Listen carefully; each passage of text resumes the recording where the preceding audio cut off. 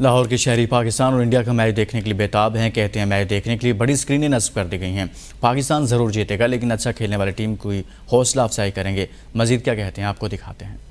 इन अल्लाह के करम से इस दफ़ा पाकिस्तान ज़रूर जीतेगा। शाहीन शाह अफरीदी और बाबर आज़म दोनों से तो ज़्यादा है। पॉपकॉर्न खाएँगे बड़ी स्क्रीन पर मैच देखेंगे और इन्जॉय करेंगे। सारी दुनिया की नज़रें होंगी इसी मैच पे जी। तो बड़ा कांटेदार मैच होगा इंशाल्लाह जी। जिस तरह पाकिस्तान और इंडिया का मैच चलता है जिस जोश के साथ खेला जाता है उसी जोश के साथ हम खेलेंगे इन इंशाल्लाह जॉब से छुट्टी करेंगे और इंशाल्लाह पाकिस्तान को पूरा सपोर्ट करेंगे।